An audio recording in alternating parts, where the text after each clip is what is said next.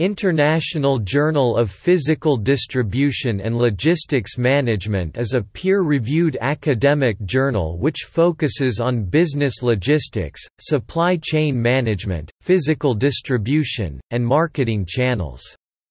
Founded in 1970, it is published 10 times per year by Emerald Group Publishing Limited.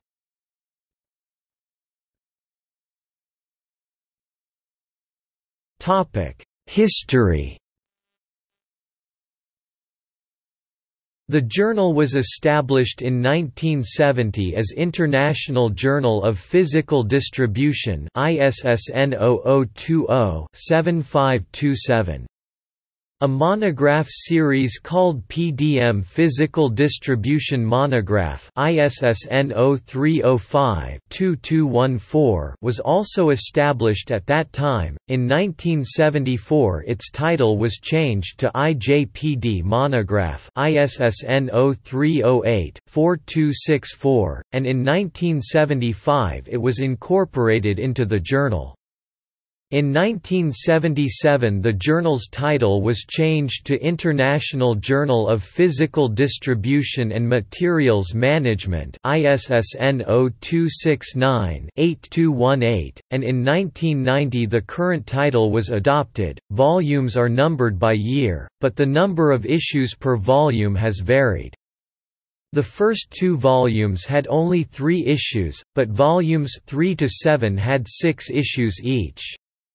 The journal has had 10 issues per volume since v.35 2005, although in some of those volumes there have been combined issues.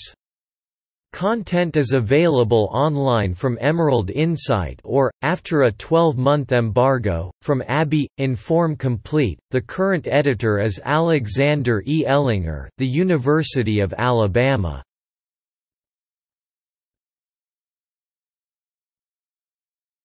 Topic: Abstracting and indexing. The journal is abstracted and indexed in the following databases. Social Sciences Citation Index. Scopus. Business Source Premier.